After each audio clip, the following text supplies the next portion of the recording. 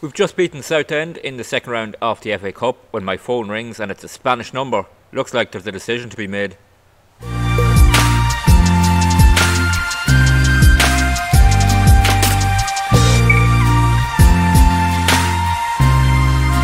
Hello everyone and welcome back to the channel. I'm G&G and in this episode of Jobless Greatness, as I said, we have a big decision to make. Villarreal have approached us, they've made us an offer here as you can see and we have to decide whether to take it or not. Let's have a look at the offer first of all. It's 50,000 a week for me. I'm currently on 2,700. That's a huge increase personally. Uh, a transfer budget of 44 million and a wage budget of 2.2 million, which is massive compared to uh, Cambridge. Is it enough to compete in La Liga? That's what I'm going to have to decide. Uh, if we look at Villarreal, look at their uh, reputation, we'll see is four and a half star. Their training facilities are five star, youth facilities five star, youth recruitment five star. 56 million in the bank balance. And uh, yeah, it's a tough, tough decision because if we just look at Cambridge for one second, as I said, we beat uh, Southend 2 1 in the FA Cup, so we're through to the third round where we play Fleetwood. We also beat Coventry 5 2 in a league game, which means we're currently in second in the league table, two points off Peterborough. And yeah, everything going well at Cambridge, but this is a huge opportunity. And if we look at what they want, they want to be competitive in the Champions League in five years' time, qualify for Europa League. Yeah, it's a big, big offer. And, I know uh, in the comments of the last video, there were people who wanted to take this job. There are some people who wanted not to take the job. Uh, one comment uh, from Gary Turpey, I was very welcome to see. He uh, pointed out the uh, minimum uh, release clause in players' contracts in the league, which made me really think about this. But sorry, Gary, I'm going to have to go against your advice. I'm going to take this job because I think it's too big an opportunity to turn down a big club like Villarreal who haven't won La Liga, and uh, yeah, three-year deal on fifty thousand a week. That's good enough for me. We're going to exit the talks. We've accepted the job offer. Looks like we're going to become Villarreal manager. Uh, we were meant to play Crystal Palace under 21s on this day, but I think we're going to Spain. And there we go. We're off to Spain. We've made the big move. We've joined Villarreal. We brought a couple of backroom staff with us, but uh, yeah, we're off to Spain. There is the team media protection of coming fourth, so we have a bit of work to do to get them up the table. We'll have a look at the table in a moment. There we go, wage budget, or transfer budget of 43,000, wage budget of 2 million two, and uh, we'll have a look at some other things. We'll look at the team. There is uh, the team at the moment uh, recommended by the chairperson, I think, strangely enough. We don't have an assistant manager, I think that's why they are recommended for the formation. Actually, we played at Oxford City and in our first season at Cambridge. So we may go with that to start off with and see how it goes. There is the club vision again. They want to sign players under 23, which was the same as Cambridge. Work within the wage budget. Sell players for a profit. Spend the original uh, transfer budget. We'll try and do that. Uh, one year contract for players over 33. Two year contract for players over 31. A minimum of four year contract for all first team players. And a maximum of three year contracts for anyone over 29. And their five year plan is be competitive in the Champions League, qualify for the Conference League, reach the latter stages of the Copa del Rey, work towards developing the best youth system in the world, work towards developing the youth system in the country. Uh, end of this season, they want to develop the youth system. No, sorry, next season they want to develop the youth system, work towards best of the rest, and work towards yeah the youth system again. They want to be recognised as the best of the rest. Then, yeah, our contract expires then, and hopefully we'll be staying on. But I think this is the club to try and see out this challenge at as I said before, uh, the supporter vision there actually is much the same, really. They want to do well against their rivals, they want to finish above Valencia and record a top half finish. And uh, yeah, we'll do a press conference, etc., etc. But yeah, as I said with Villarreal, uh, if we look at Villarreal as the Celtic club info, we go to history here. You'll see no uh, La Liga titles there at all. They won the Europa League, of course, a couple of years ago, beating Manchester United in a penalty shootout. They've not even won a Copa del Rey, it seems. Yeah, so yeah, we can make a lot of history here at this club. Of course, the challenge at the start of this save was to win one of Europe's top five uh, titles with a club that hasn't won a title this century.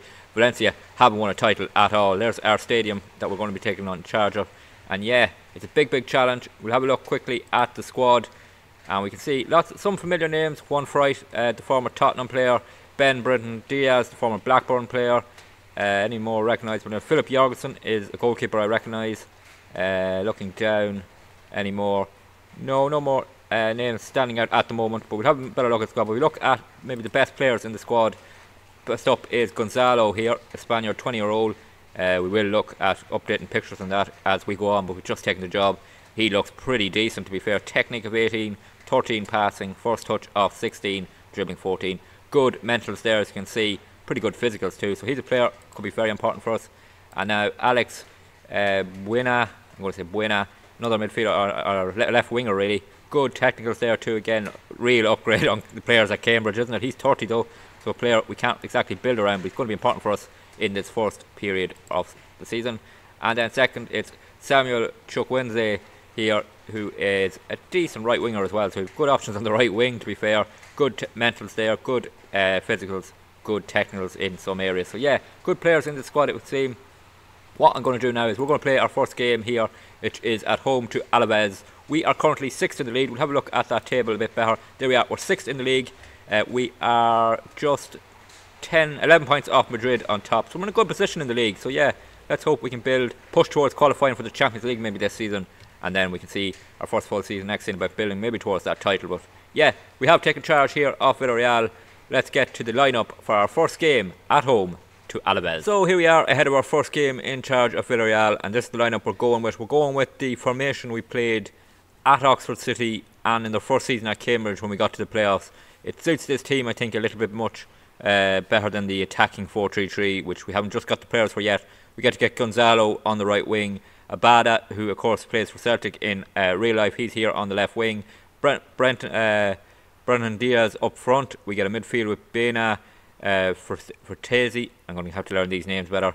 And then uh, Soppy at left back is a decent left back. Andrich is a good player at right back. We're a little bit short at centre back because of a few injuries, so that's a bit of a worry. And Filip Jorgensen is in goals. So it's our first game against Alaves. They're down towards the bottom of the table. Can we get up and running with a win? So here we are at home for our first game in Spain. A huge gamble we have taken. This could be a massive mistake. It could go very wrong here at Villarreal, or it could go very right. Alaves down towards the bottom of La Liga. Probably a good opponent to start off. We've only had a couple of days to look at our team, get them ready. We'll see Alaves down in 16th. We are 7th. A win here could lift us back into the European spots. And uh, yeah, could we get up and running? Our first games outside of England in this save. We've gone from Cambridge to Villarreal. Will it be a success? Fourth highlight, 30 seconds in, is a throw in for us for Tazy. Back to Soppy, into Abada. Cross. Oh, we're ahead. Alex Baena puts us 1 0 up, and not even a minute in charge of Villarreal. We have a, a lead, and it's his 100 goal I see for Villarreal, so he's a very experienced player for this club. Well worked from this throw in Soppy and for Tazy, working it well. Soppy into the box, cross into Abada. He crossed it across. And there is the finish by Alex. And we go 1 0 up. Free kick here. It is Stamic to take it down to Soppy, our left back. He brings it infield, looking for support. Goes back to Stamanic. And here is Robert into Alex. Now Gonzalo down this right hand side. Beats his man. Can he get across? And he can. It's Diaz. We're 2 0 up. We've only played two minutes. It's a dream start here in charge of Villarreal. if it continues like this, we could be winning that title very soon, but let's not get too carried away. It's lovely work uh, play. Gonzalo takes on his man here, he beats him, then he gets the cross into Diaz. A really good finish from him, and we are 2 0 up. Throwing here, Soppy to take it. We have suffered a bit of a blow. Alex Baena, our first goal scorer, has gone off with an injury, and Moder has come on for him. That's a bit of a worry. Here is Moder, and he plays it to Gonzalo. Gonzalo is through. Could this be a third? Gonzalo! Good save from the Alaves keeper. Keeps it at 2 0. We're playing some really good football early on here. I'm not sure how much that has to do with me because I'm only a couple of days here. Here's Abada with the corner kick in. It's headed clear to Gonzalo on the edge of the box. Can he get across in? Abada looked offside there. I think the flag will go up. Will it? No, we play on. And it is David for them, but it stays 2 0. Free kick for Alaves. They go long with it. It's cut out by Stimanic. And now Soppy to Abada. Abada comes down this side. Can he create something? He plays a ball over the top for Brereton Diaz, but cut out. It'll fall back into midfield and for Tacy has it. He plays it into Moder. Moder back to Robert, and Robert to Andrich. Andrich brings it down this side, the right back. Can he get across in? Moder. Diaz! Oh, brilliant save from the Alaves keeper. That is a stunning save. We really cut them open there. Oh, we could have been 4 0 up in this half. We're going to go in at 2, I think, at half time. We're in injury time now. Abada with the corner kick. It's headed clear. It'll fall to Gonzalo. I reckon that is the end of the highlight. Just waiting for the 3 minutes to be played, but we have another highlight in injury time here. Could Alaves strike before half time and make this game interesting? Oh, dodgy enough ball back to their keeper. And here is Coco for them. He plays it into midfield, and Andrich cuts it out at right back. Here's Gonzalo. Gonzalo taking on his man again. Can he get across in towards Diaz? This time he can't. Diaz! It's the post! Oh, that's unlucky. Diaz could have had a hat trick. We could be 5 0 up. It's been a really good first 45 minutes in charge here at Villarreal. Just need now not to make any mistakes and let Alaves come back into it before half time. Here's Soppy down this side.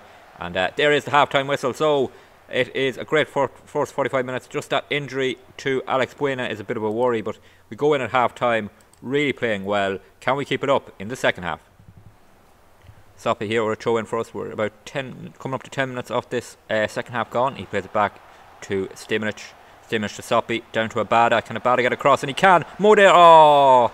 If that was Alex Baena, I would have been more confident for sure, but it stays 2 0. Abada with a corner here. He whips it in towards the near post. Oh, Robert is fouled. It's a penalty. We do have VAR now uh, in La Liga, of course, so it'll be a VAR decision here. Let's see, can we go 3 0 up from the penalty spot? Looking for the penalty. Penalty given and we have a penalty kick now to go 3 0 up. Uh, I'm not sure who's taking it because I haven't really set penalty takers yet. It will be Diaz for a second of the game. He fires it home. We go 3 0 up. And this is a dream start to our time here in Spain. And uh, yeah, really, really impressive performance. I know Alaves are down towards the bottom, so it's probably a dream start, really. Diaz makes it 3 0. Coco here, a free kick for Alaves. He plays it down the line to Peter with them. Soppy with a terrible tackle. We're about to go down to 10 men here. Oh, that's so annoying because we're in control of this game. Absolutely no need for it. So we need to bring on a left back and uh, we bring on Owen Wijndal here. We're going to bring him on for, I think we'll bring him on for Abada. We'll bring him back to left back and we put Gonzalo uh, into the middle here. We play diamond. We will go to cautious and we will go narrow and we'll just slow everything down really. Just try and tell the goalkeeper to slow things down hold our shape, regroup, and just try and see this game out now. We're down to 10 men, but we're also 3 0 up. Free kick here for Alaves to go long with it. Can we cut it out? We can with Stimage. Down to Gonzalo, who'll be playing that new role now. In towards Fortesi. Ah, Fortesi is half asleep there. What was he doing? Pa passes right at him and he just looked at it. Alaves here in possession, bringing it forward. We have 28 minutes to go. If they got one back, it could be real, real nervy time for us down to 10 men. Just need to try hold our ship a little. Oh, they've cut it out. Stimich does well. Back to Jorgensen in goal. He has options to Robert. Robert to Andrich. And we can bring this one forward calmly from the back. That's a poor pass from Andrich. And now Alaves can come on the attack. We try and get men back. And Windal doesn't pick it out. It's a tackle from Protesi. Doesn't give away the penalty, thankfully, but he doesn't win the ball. Peter with the cross towards that far post. And they do have one back. Oh, the nerves are going to be jingling now. Jorgensen couldn't keep it out. We conceded our first goal here at Villarreal and we were a little bit sloppy. Fortesi won the tackle there, he didn't win the ball back. He then didn't really fully push out to stop the cross. Peter with the cross to the far post. Their man wins in the air against two men, heads it in, and it's now 3 1. Into injury time here, three minutes off the four gone. We're going to get our first win since that goal. Not a lot has happened. There is the full time whistle. We've won our first game against uh, against Alaves here at Villarreal. A 3 1 win, two for Diaz, one for Alex Baena. Hopefully that injury isn't too bad. Soppy sent off, so he'll be suspended. But we have our first three points. So there we have it up and running here at Villarreal. We have a win on the board. We move up into sixth position on to 27 points and only three points off the Champions League spots. Only uh, two points behind Barcelona who actually are going to be our opponents in the next episode, but not in the league. We're going to take them on in the Supercopa semi-final. We're going to take on Barcelona for the first time here in a neutral venue. So let's see what we can do against them. And then it's Real Betis at home. Betis down in 14th position. And uh, we play a couple of league games. We play a Champions League game against Celtic as well, but we're not going to worry too much about the Champions League this season. If we look at the league phase, you'll see we're down in 32nd position with an outside shot of making the knockout stage. But yeah, Champions League isn't our main focus this season. It's going to be the league and getting to know this club and this squad. So next episode, it's Barcelona in the Supercopa semi-final and Real Betis in La Liga. If you did enjoy today's episode, please drop a like on the video. Uh, always good to see more likes and people enjoying it. Don't forget to leave any feedback you have on the move in the comments down below. You can tell me how much of an idiot you think I am or how great you think the move is. Uh, either way, happy to get, get your feedback. And don't forget to hit that subscribe button. Always helps the channel to grow and helps you catch every video that's posted. Videos are posted Monday to Friday, 6pm Irish time. And subscribing will make sure you get the notification. There's also a playlist on the channel if you want to catch up on anything that's happened so far. And until the next episode, please take it easy.